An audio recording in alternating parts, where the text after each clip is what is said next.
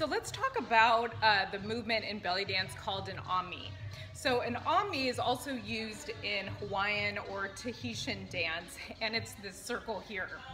So the best way to practice doing an ami, because you have to really strengthen all of these lower abdominal and pelvic floor muscles, as well as your psoas, muscles are really involved in this movement as well, is by doing a hip square. So you're gonna go to one side, contracting here, you're gonna tuck, other side, back.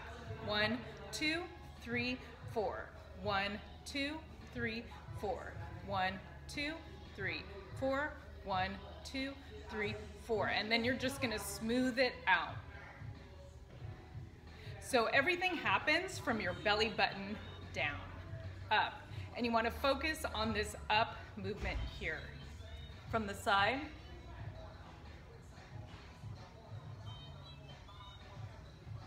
So I'm focusing on up, up, up, up, and switching sides.